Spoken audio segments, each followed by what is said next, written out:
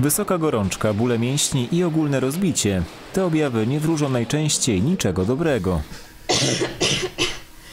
Przychodnie od kilku tygodni pękają w szwach. W tej przy ulicy Lotniczej dziennie przyjmuje się około 250 pacjentów z różnego rodzaju infekcjami, głównie bakteryjnymi. Zdarzają się także przypadki grypy.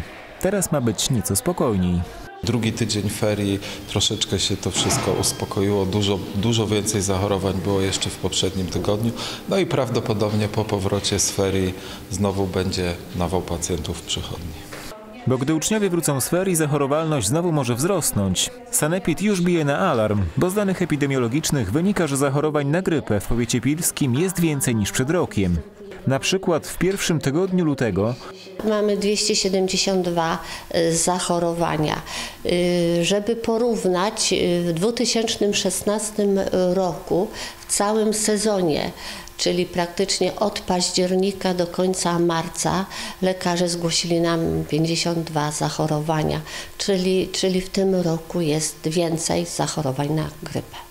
W drugiej połowie stycznia zachorowało 305 osób. Wskaźnik zachorowań w Polsce także jest wysoki. Według danych w ostatnim tygodniu stycznia na grypę w Polsce zachorowało 360 tysięcy osób, w Wielkopolsce ponad 50 tysięcy.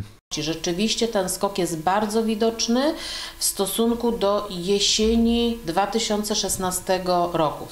Zdaniem epidemiologów te dane i tak są zaniżone. Wielu pacjentów nie trafia bowiem nawet z grypą do lekarza, lecząc się domowymi metodami, a grypy bagatelizować nie można.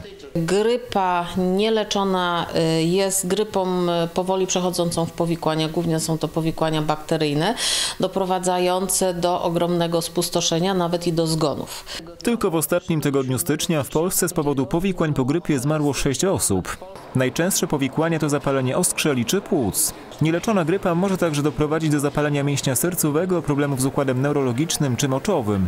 Największe ryzyko zachorowania na grypę obejmuje dzieci i osoby starsze. W Wielkopolsce hospitalizowanych jest 89 osób, w tym dwie z powiatu pilskiego.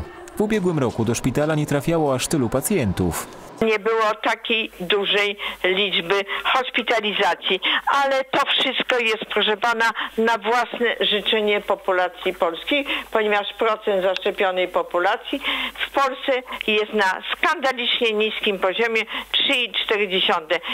Żadna szczepionka nie da nam jednak stuprocentowej gwarancji, że nie zachorujemy. Nic nie zastąpi zdrowego rozsądku i przestrzegania zasad higieny. Myjemy często i dokładnie ręce. Staramy się nie przebywać w miejscach o dużej koncentracji wirusa. Zwracamy także uwagę na odpowiedni ubiór oraz dietę, bo jak wiadomo, lepiej zapobiegać niż leczyć.